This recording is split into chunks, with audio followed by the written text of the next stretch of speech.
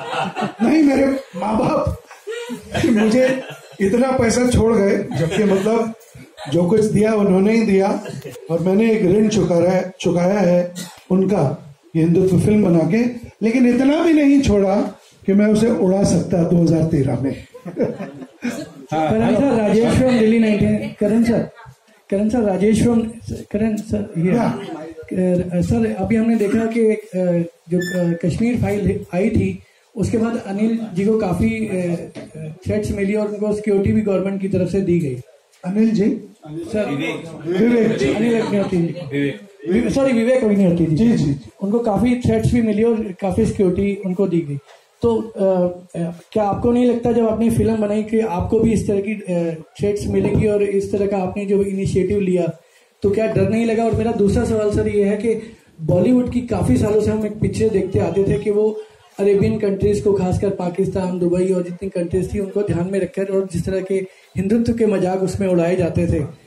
आप और विवेक जी ने जिस तरह से पहल की है, इस तरह से दूसरी फ़िल्म आप लेकर आए हैं, क्या आपको लगता है कि बॉलीवुड के अंदर ये बदलाव आएगा? जैसे आमिर खान जी की पिक्चर में दिखाया गया था कि एक टेररिस्ट को भी उन्होंने बड़ा सॉफ्ट दिखाया कि उसको वो भी एक आदमी है, उसको बड़ा इंडिया के अंदर उसको वो मतलब जिस तरह से दिखाया गया था, वो भी मतलब गलत था, लेकिन इस तरह से दिखाना क्या आपको लगता है कि बॉलीवुड अब इसमें बदलाव आएगा और वो सुधरेंगे इसके बाद?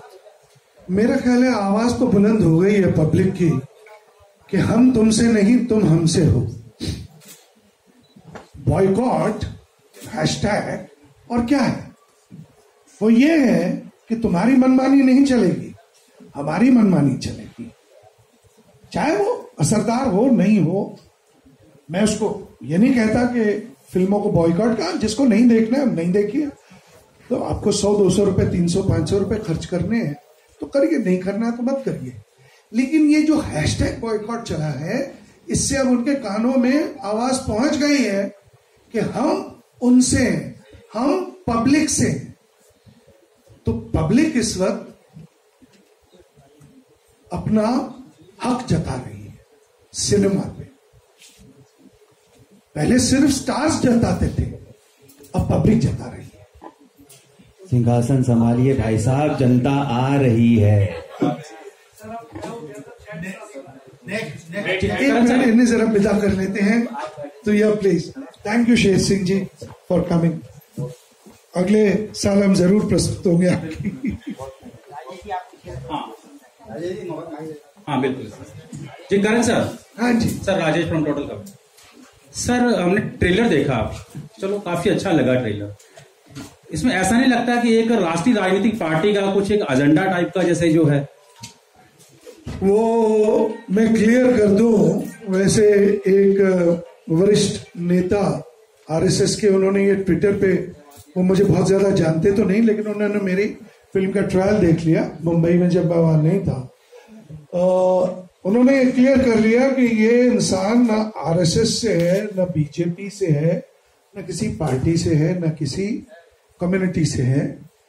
तो इन्होंने संगठन से तो इसने अपने बलबूते पे ये फ़िल्म बनाई है। खुद अपनी सोच से ये फ़िल्म बनाई है।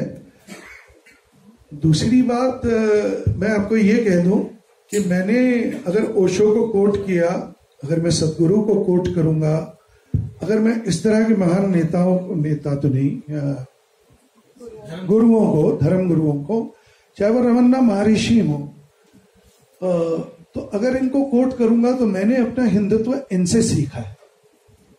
और अगर श्रेय जाता है इस फ़िल्म बनाने का, आपको चाहे अच्छी लगे, चाहे बुरी लगे, वो अलग बात है तो वो इन धर्म गुरुओं को जाता है। ओशो को जाता है सदगुरु को जाता है, रमन्ना महर्षि को जाता है और इस तरह महागीता और अष्टवक्र गीता को जाता है। तो ये बात बहुत क्लियर है कि ये पॉलिटिकली नहीं but it is socially motivated और अगर उसमें पॉलिटिक्स जुड़ी हुई है तो मैं क्या करूँ? हमारे समाज से जुड़ गई है, सियासत। तो जुड़ी है तो जुड़ी है। तो मैं तो पूरा आईना देखूँगा ना मतलब आप अगर अक्स देखते हैं अपना आईने में तो वो तो पूरा ही आता है ना। ऐसा तो नहीं आता, ये पार्ट नहीं दिखाई दे रहा, ये पार्ट दिखाई दे रहा है, फिर ये पार्ट नहीं दिखाई दे रहा। तो ये पूरा जो मैंने देखा है, उसका ये रिफ्लेक्शन नमस्कार। मैं अजय जैन सच तक न्यूज़ से, सर।